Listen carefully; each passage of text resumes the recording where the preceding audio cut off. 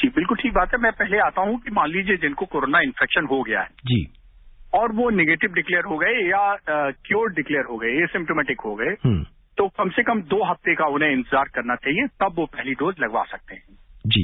अब दूसरे लोग जो हैं जिन्होंने पहली डोज लगवा ली लेकिन उसके बाद भी संक्रमित हो गए। हम्म।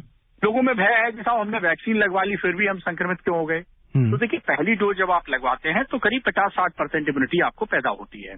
और दोनों डोज जब लगवा लेते हैं तो भी करीब एट्टी परसेंट आप प्रोटेक्शन आपको मिलता है। जी।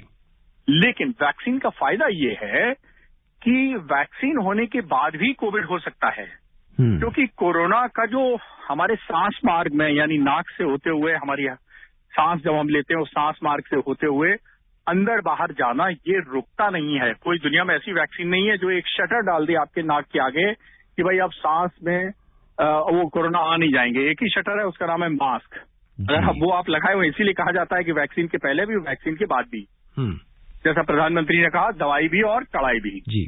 तो वही एक बचा सकता है कि कोरोना को अंदर बाहर जाने के लिए। तो संक्रमण हो जाता है कई बार पहली डोज के बाद भी और दूसरी डोज के बाद भी। हम्म। लेकिन वो संक्रमण बहुत ज़्यादा गंभीर नहीं होता है अस्पताल में भर्ती नहीं होना पड़ता है निमोनिया नहीं होता है एआरडीएस नहीं होता है कॉम्प्लिकेशंस नहीं होते हैं और बहुत सीवियर डिज़ीज़ नहीं होती है।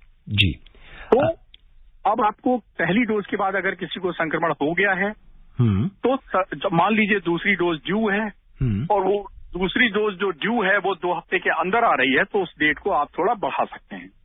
और इतना तक बढ़ा सकते हैं कि मान लीजिए आप दो, दो डोज के बीच में गैप छह से आठ हफ़्ते का होना चाहिए तो ये बारह हफ़्ते तक बढ़ सकता है। इसलिए आप निश्चिंत रहें।